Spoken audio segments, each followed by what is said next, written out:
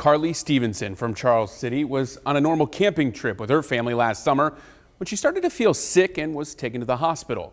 Now, months later, she has still not returned home. KCCI's Bo Bowman shows us her fight to survive when no one, not even a priest, thought she had a chance. There's a clergy sitting in our room waiting for us and told us that they were doing life-saving measures and she wasn't going to make it.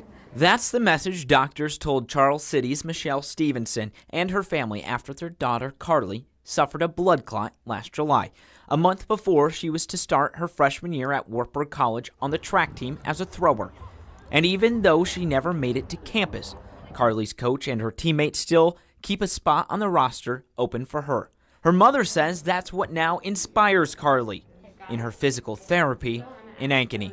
It's kind of kicked in and she's just pushing herself because she's not happy where she is, so I know she's just going to keep progressing.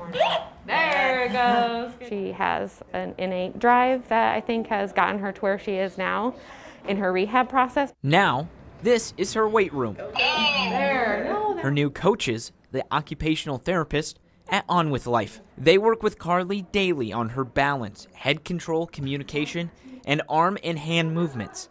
Her doctors would be the first to tell you how hard she's working. She uses her whole body. She goes. Um, she's up for the challenge. She wants to do more. Her strive for self improvement is obvious, whether it's throwing a shot put or just keeping her head up. The dedication is what her mom says kept her alive when not even the surgeons expected her to live. She's such a driven person and she's amazing. The world needs more Carlys. Bo Bowman, KCCI 8 News, Iowa's news leader. And a family friend created a Facebook page documenting Carly's time recovering. It's called Carly's Fight. They've also have a GoFundMe and other local fundraisers. So far, they've raised more than $30,000. A remarkable story there by Bo Bowman.